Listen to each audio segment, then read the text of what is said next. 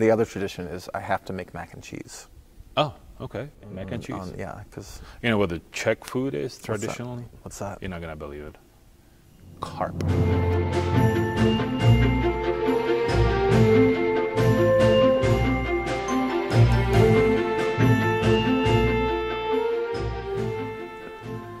Welcome to Backstage Talks, and this week we are talking about Christmas. And we have Michael Way here, our cellist, Hello. and he's gonna tell us a little bit about how he likes Christmas. Well cooked, medium, well. I'm a I'm a Christmas freak. Uh oh. Um, I, I at one point had an iPod that was a Christmas iPod with 1,500 unique Christmas tracks on it. No repeats of recordings, but like every version of every song. So In any, could- any language? Did you have some German, German carols, there was Czech some, carols, there was some Russian French, and there was a really horrible um, Julie Andrews. It's like the, the worst Christmas album ever. it's the most highbrow, like English Christmas.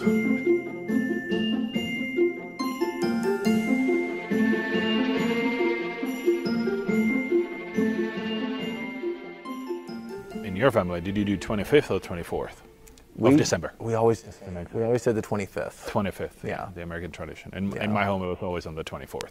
Was that with everyone? like Christmas, everything? yeah, and the whole family, yeah. Christmas Awesome. Eve, you know, uh, more of a dinner, and then and then you know, then you Yeah. hear the bell, and that means that you need to go to the next room where all the presents are, and then you sit around. Of course, the uh, the elderly people they have their bre- beverages, you know, Mhm, to entertain absolutely. The themselves, and the kids are in there.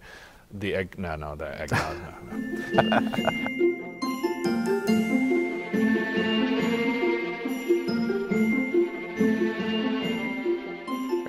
This Christmas, we're going to be hearing the Home Alone Suite, which is uh, John Williams' score written for the Home Alone movies um, that are just stick. Of course, it's John. Williams. I mean, anything that he touched was gold, right? I mean, we're into gold. So, Yeah. yeah, we might do other, actually, spectaculars by him in in in uh, in that concert. So, because you know, Home Alone is just one little part of the Mm-hmm. whole spiel that we're gonna be. We're gonna have a guest artist, Yeah.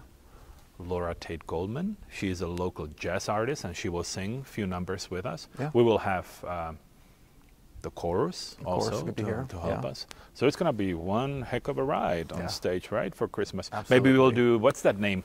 Uh, Polar Express. Should we do Polar Express as well? That's a lot of fun. That comes from a Christmas movie as well, right?